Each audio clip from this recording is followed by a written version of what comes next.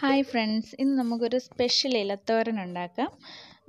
ഇത് കൂടുതലായിട്ട് നമ്മുടെ നാട്ടിൻ പ്രദേശത്തുള്ള ആളുകളൊക്കെ മിക്ക ദിവസങ്ങളിലും ഇലത്തോരൻ ഉണ്ടാക്കും. അത് ഇപ്പം ചീരയിലയാകാം മറ്റെന്തിലയാകാം മുരിങ്ങയിലയാകാം പയറിലയാകാം.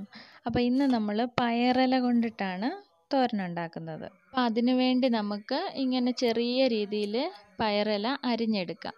അതിനു മുമ്പ് ചാനൽ ആരെങ്കിലും സബ്സ്ക്രൈബ് ചെയ്യാനുണ്ടെങ്കിൽ ഒന്ന് സബ്സ്ക്രൈബ് ചെയ്തേക്കണേ. അപ്പം നമ്മൾ ഇല ഇങ്ങനെ ചെറുതായി അരിഞ്ഞു വെച്ചു. ഇനി നമുക്ക് അതിലേക്ക് വേണ്ട ചേരുവയ്ക്ക് വേണ്ടിയിട്ട് കുറച്ച് തേങ്ങ ചിരകിയെടുക്കണം പിന്നെ ആവശ്യത്തിന് അതിലേക്ക് മുളക്. ഞാനിപ്പോൾ കാന്താരി മുളകാണ് എടുക്കുന്നത് വളരെ ചെറിയ മുളകായതുകൊണ്ട് അതിന്റെ ഞെടുപ്പൊന്നും നമ്മൾ അടത്തി കളയുന്നില്ല.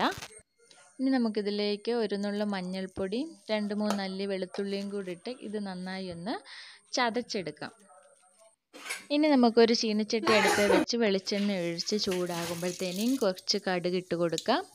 അതിലേക്ക് നമുക്കിനി ഒരു വറ്റൽമുളക് പിന്നെ ഒരു പിടി കറിവേപ്പിലയും കൂടി ഇട്ട് നമുക്കതൊന്ന് മൂത്ത് വരുമ്പോഴത്തേനും നമുക്ക് നമ്മൾ അരിഞ്ഞു വെച്ചിരിക്കുന്ന ഇല അത് ഇതിലേക്ക് ഇട്ട് കൊടുക്കാം. അപ്പോൾ ഇല ഇട്ട് കൊടുത്തിട്ട് നമുക്കിത് നന്നായിട്ടൊന്ന് മിക്സ് ചെയ്യണം. മിക്സ് ചെയ്യുന്ന വെച്ചാൽ ഇതിനടിയിൽ നമ്മൾ എണ്ണയും കടുക് വറുത്തുണ്ടല്ലോ അതെല്ലാം കൂടെ നന്നായിട്ടൊന്ന് മിക്സ് ആകാൻ വേണ്ടിയാണ്.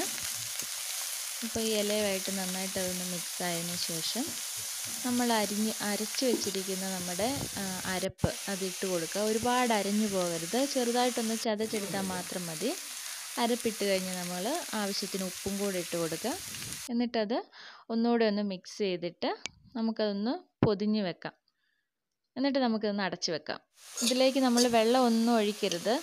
ഒരു- ഒന്നൊന്നര മിനിറ്റ് ഇത് അടച്ച് വെച്ചാൽ മതി. അതിനുശേഷം നമുക്കിത് തുറന്ന് നോക്കാം. അപ്പോഴത്തേനും നമ്മുടെ ഇലയെല്ലാം നമ്മൾ അരിഞ്ഞത്രയൊന്നും ഇല്ല. അതിന്റെ ഒരു പകുതിയോളം ആയിട്ടുണ്ടാവും. നന്നായിട്ട് അതൊന്ന് ആവിയിൽ വെന്ത് വന്നിട്ടുണ്ട്.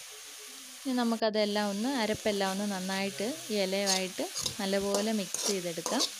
ഇതുപോലുള്ള ഇലത്തോരനും ഒക്കെ നമ്മൾ തയ്യാറാക്കുമ്പോൾ നമ്മൾ തീയൊക്കെ ഏറ്റവും കുറച്ചിട്ടതിന് ശേഷം വേണം നമ്മൾ അടുപ്പിൽ ഇത് ആവിയിൽ വെക്കാൻ. അല്ലെങ്കിൽ വെള്ളമൊന്നും ഒഴിക്കുന്നില്ലാത്തതുകൊണ്ട് ഇത് പെട്ടെന്ന് തന്നെ കരിഞ്ഞു പോകും. അപ്പോൾ ഇപ്പം നമ്മുടെ തോരൻ ഇവിടെ റെഡി ആയിട്ടുണ്ട്. അപ്പോൾ ഇതുപോലുള്ള ഇലകളൊക്കെ നമ്മൾ ഇടയ്ക്ക് തോരനൊക്കെ വെച്ച് കഴിക്കുകയാണെങ്കിൽ നമ്മുടെ ആരോഗ്യത്തിനും ശരീരത്തിനും ഒക്കെ ഒരുപാട് നല്ലതാണ്. പുറത്തു നിന്നൊക്കെ വാങ്ങുന്ന പച്ചക്കറികളെക്കാട്ടിലും ഒക്കെ ഒരുപാട് നമുക്ക് ഗുണം ചെയ്യുന്ന ഒന്നാണിത്. അപ്പോൾ എല്ലാവരും ഒന്ന് ട്രൈ ചെയ്ത് നോക്കുക. സപ്പോർട്ട് ചെയ്യുക.